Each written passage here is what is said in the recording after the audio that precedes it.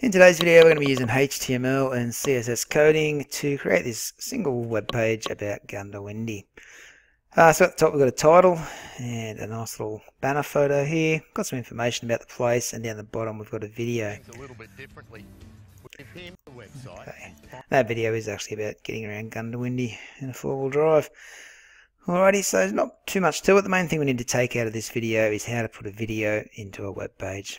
Alrighty, so let's get started today by heading into our accounts. And we're going to make ourselves a new folder called Goondiwindi Tourism. Inside of that folder, I want you to make two more new folders, one called Images and one called Media. The cover photo will need to go in the Images folder, and the video will need to go in the Media folder. Okay, once you've got all that set up, oops, sorry, make sure you've got this info document open as well, because this is all the writing you're going to need in your web page.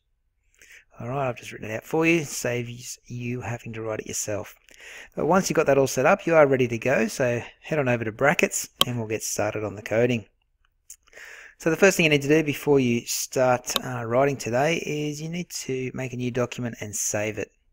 So go to File and Save As, and you need to navigate your way back to your Goondiwindi Tourism folder that you made just a moment ago. And you want to call this page goondiwindi.html. Remembering the .html extension on the end just to tell the computer we are making a web page. Click save once you've got that in and you are ready to go with your coding. So the first tag we need to write in today is the, the, doc, the doc type tag. Okay, so do a pointy bracket, exclamation mark, doc type, and then write HTML. This tells the computer we're making a HTML document. We can then start our actual coding, so put in the HTML tags to start off with, and then put in the head tags after that. In between the head tags, we'll add a title that says Goondiwindi, and that will do us for the head section for now. We'll come back a bit later and link up the style sheets in that head section, but we'll leave it for the time being. Coming in next, we're going to do the body section. Okay, so put in some body tags. And I just want you to save where you're at now by pressing Control S and then going and into your account and opening the web page up for a preview. At the moment we should just have a name in the tab at the very top of the page. It says Goondiwindi. Apart from that there should be a blank uh, web page sitting on your screen. So let's start adding stuff to that um, blank body section now. The first thing we want to put in is a header. So I'm going to use a tag called the header tag. Inside of this header, we're going to do two things. The first is a H1 heading that says Goondiwindi. So that'll write the word Goondiwindi nice and big and bold for us. And the second thing I want to put in is a picture. So let's put the image source tag in and grab that banner.png file out of our images folder. Now remember, once you put the image in, you need to put in the alternate text. So we'll just write image of bridge in Goondiwindi. Okay, the alternate text is for those people who can't load images on their phone or their computer. It will just display the text instead. Press Ctrl S to save that, and that header section should now be appearing on our page. So there's our H1 heading, and there's our image. That's our banner image. Okay, so let's keep going now. We're going to go below the header section, and the next section we're going to put in is the article. The article is basically the main chunk of information that goes onto your page. So in the article section, what I want you to do is pop over to that text document, all the information, and simply copy it. And then back in brackets, I want you to press Control V to paste it in. Now, some of those paragraphs don't indent properly, so you might need to highlight them and press Tab a few times just to get them indented so they're all sitting flush with one another like so inside the article tags.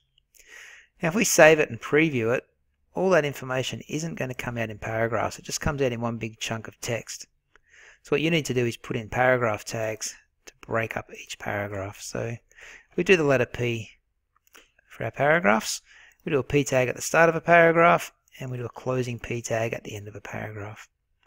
So what I'll get you to do is just copy and paste by pressing Control C to copy, Control V to paste, and just paste the letter P through the start of each of those paragraphs. Copy the closing p tag and paste it in at the end of each paragraph.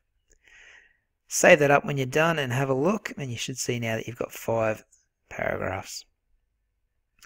Alright, the next thing we need to do is put a hyperlink in. And that's going to link us off to some more information about Goondiwindi. It's still going to come inside the article section, so make sure you're still inside of it. And we're going to make a new paragraph to do this.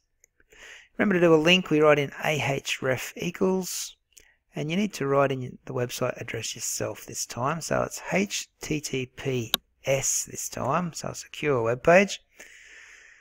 Forward slash, colon forward slash forward slash www.queensland.com forward slash destination. Then we do the percentage sign and the number 20. That stands for a special character. I can't remember which one, but we'll just roll with it. So percentage 20, destination information, forward slash Goondiwindi. And then we will close the quotation marks and close the pointy bracket. Okay, so make sure you've got that address right. https www.queensland.com destination information Goondiwindi. Okay. Still inside those pointy brackets, but outside of the quotation marks, we're going to write in the word target equals underscore blank. And if you forgot what that means, that basically opens up this, or will open this hyperlink up in a new blank page or a new blank tab. Okay, so now in between those A tags, what we're going to do is we're going to write click here. And then outside of the A tags, we'll put a space. We'll just write to find out more about Goondiwindi. Okay, by putting the words click here between the A tags, that will make that the hyperlink. So if we save it and preview it, we've got a hyperlink down the bottom here now. We can click on it and it loads up a page with a bit more info and some pictures about Goondiwindi. Alrighty, so back in brackets now, we're finished with the article section, the main chunk of writing. So I'm going to jump out of the article section now, and I'm going to put the video in. Okay, it's going to go in its own paragraph. So open up some p tags, and then open up a video tag. Inside the video tag, we're simply going to write source and then src equals, look in your media folder and select the video.mp4. Then we're going to close off those brackets. So let's put a video in its own paragraph. Let's save it and have a look and we'll see if it looks any good. Okay, so here it is here in its own paragraph. It's not too bad. The issue is there's no play button to play the video. Alright, so what we can do, back in the video here, in the first video tag, put a space and write controls in. That will put some controls at the bottom so you can play it, pause it, adjust the volume, make it full screen, and so on. So let's go back and have another look and we'll see if we can get that going. So you can see the little bar in there now. We let it strap in half. We're going to use it. Seems to be working fine. Okay, so that's our video with the control bar at the bottom. Okay, fairly simple code. Now we're just going to add something else in here to make our styling easier a bit later on. I actually want to style up this um, video paragraph in my style sheet a bit later. And because we've got p tags here, and if we try and style it up using that, all these other p tags, all these other paragraphs will get styled up the same. We don't want that. So I'm going to make this paragraph have a unique name. So I'll just write p class equals, and I'll just give it the name video. That'll do. That name could be anything, but it should be meaningful, so that's why I've chosen the word video. The final thing we're going to put in now is a footer at the bottom, so you can use the footer tags for this. And we're simply going to write copyright, and we're going to write 2018 Gunda Windy Tourism. Alright, now I put the copyright symbol in this as well. The copyright symbol is that little C with a circle around it. And the way we do that is we do it between the co copyright and the 2018. So I'm going to write in the ampersand sign and then the word copy with a semicolon at the end. And that's how you do the copyright symbol in HTML. We save that up and have a look. Just scroll to the bottom and you can see our little copyright statement at the bottom of the page. Alrighty, so that is our HTML all done. Okay, what we need to do now is the CSS. So let's make a new document up And before we start typing, we'll save it. Again, navigate your way back to your Goondiwindi Tourism folder and give it the name style.css. And before we start typing in it, we might as well link it up back in our HTML. So in the head section at the top of the HTML, just press enter below the title there. And I want you to write in link rel equals style sheet and then href equals style.css. Okay, and that has linked up this HTML document to our style sheet. So now we can start formatting our website, our web page to make it look good. Alrighty, so back over here we've got this style sheet. The first thing that we want to um, start styling up is just the background color. We'll keep it simple. Okay, so we're going to write in the HTML tag first of all and open up our curly braces and simply change the background color. Now you can choose like a darkish kind of brown um, if you'd like or you can just copy me. I've chosen hashtag 5D4431. So I've used a hex hexadecimal value to get my background color. If we save that and have a preview, that's what it's looking like. Looks pretty ugly at the moment, but don't worry, we're going to make it look better in just a moment. The next thing we're going to do is style up the body section. Okay, if we just go to the HTML for a sec, the HTML tags wrap around absolutely everything. Okay, so that's why we style up our background inside of those. The body section, it covers most things as well. Okay, it doesn't go quite to the edge of the page as you'll see in just a moment. So what we're going to do is change the background color first here to white. And when I save that, it's going to put a white box basically over the top of the brown background that we had before. So you can see that white background just shining through and then the white body section over the top of it. Alrighty, so that's what we're working with now. And the next thing we're going to do is just change the max width of that white box to 85% of the page. That way, we've still got a little bit of excess space out the side here. Looks a bit funny pushed over to the left, so we might center that now. So the way we center it is we write margin 0 auto. Alrighty, and that should, when we save it, center that white box. Okay, so that's looking pretty sweet. Next thing I might do is change the font. At the moment it is a sans, oh, sorry, it is a serif font, which means the letters have little caps on the end. If you look closely, there's little flicks or little feet on the end of each letter. What we want to do is get rid of those. Okay, this is good for print. Uh, that's a good font for printed documents, but what we want to do is change it to a sans serif font that gets rid of those little feet, which is better viewing on the web. So what we'll do is change the font family to sans serif. If we save that and preview it, you can see now the font doesn't have those little caps on the end of each letter. Alright, we'll also change the font size to 1em and we'll also put in some line height, which is line spacing, set it to 1.5 em. Saving that now and having a look, you can see that the font is a lot easier to read, particularly down here in the main article section. Alright, so that's our body section all styled up. Next thing I'm going to do is style the header section. Now the header section contains both the H1 heading here as well as this banner image.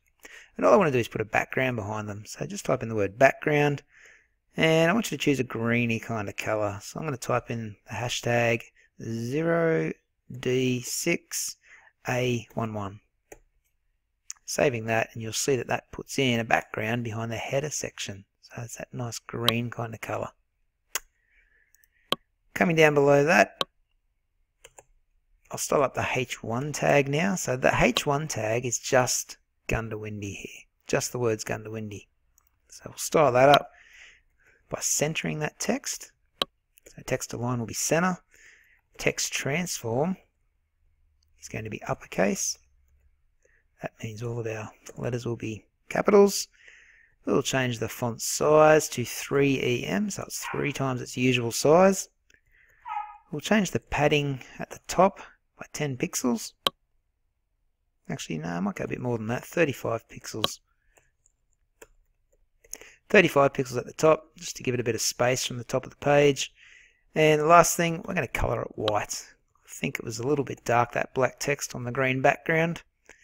So now our H1 heading, which is the word Goondiwindi, should have all those effects applied to it. You can see it's a bit easier to read in capitals and white text. It's centered. It's got a bit of padding above the top of it there. Looks really good. Next thing I'm going to style up is the article section down the bottom where we've got the main chunk of information. So this section here looks pretty good as it is, but the one thing I want to change is how much space it's got from the edge of the page. Seems to be hugging the edge of the page a little bit too tightly there, so I just want to give it a bit of breathing room. So what we're going to do is we're going to write in padding. Now you could do padding left, padding right, padding top, and do four different, padding bottom, and do four different lines of code. Or you can cheat a little bit and do it all in one line of code. So what I'm going to do is I'm going to write in the word padding, and I'm going to write 0 pixels. That's for the top of our article box. Now the left hand side, I'm going to give it 10 pixels of padding. And the right hand side, I'll give it 10 pixels of padding too. Won't worry about the bottom, so I'll just leave that out. I'll save that up and we'll go and have a look. Oops, just put the semicolon on the end too. Save that up and have a look and see how this padding's going. So you can see now I've got a little bit of white space coming down the left and the right sides of the page. The top didn't need it, it's already got a bit of white space there, so it's all fine. Same with the bottom section. Okay, you can adjust that padding as need be. You can make them bigger and smaller if you want. But that looks pretty good now that the article's got a bit of breathing room. Next thing I'm going to style up is the image, which is just this one here. Looks a bit funny off-center there on the left. I might get it to stretch all the way across the page. So what I'll do is just write image, or the IMG tag and just adjust its width and you can set it to 100%. That way it will adjust the height accordingly but it will stretch it out to be 100% width of the page. So let's have a look at that. There we go. It makes it a bit bigger and does pixelate a little bit because it did have to grow in size but it's not a big issue. You can still make out what's going on. It's still reasonable quality. Okay, so looking good. Next thing we might style up down here is the video. Again, don't want it on the left hand side, I want it centered. Okay, so we just jump back to the HTML for a sec. Remember, I gave the video paragraph its own class name, so its own unique name. So I can style that paragraph up individually. So back in our style sheet, what I'm going to write in is P for paragraph and then dot video. So it knows the class name that I'm talking about. And all I want to do is write text align as center. Even though it's not text we're centering, it's a video, that will still push the video into the center of the page like so. Alrighty, so that's looking good. Last thing we got to go now is the footer section. So that's our little copyright statement at the bottom. We don't want that too big. We want to push it kind of out of the way a bit. So we'll do text align as center. The font size we'll make smaller. So 0.75 EM would be good. So that's about three quarters of its usual size. And we might chuck it in italics as well. So we'll change the font style to italic. Alrighty, so sure you've got semicolons at the end of each of those lines. The brackets are closed. Save it up. We should have a nice little copyright footer at the bottom. Okay, let's just check that video works. Yeah, video works. Let's check our link works still. Yep, our link works fine. Writing looks good. Header section up the top looks good.